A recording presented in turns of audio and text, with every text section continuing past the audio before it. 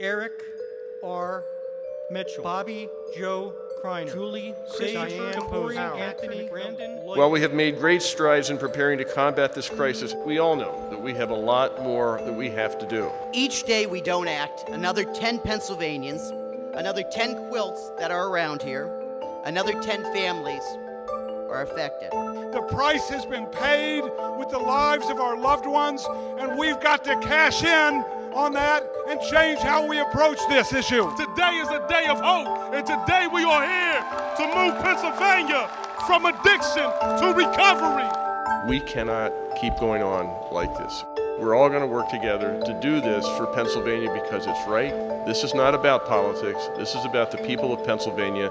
And in this, all of us are Pennsylvanians. Thank you very much.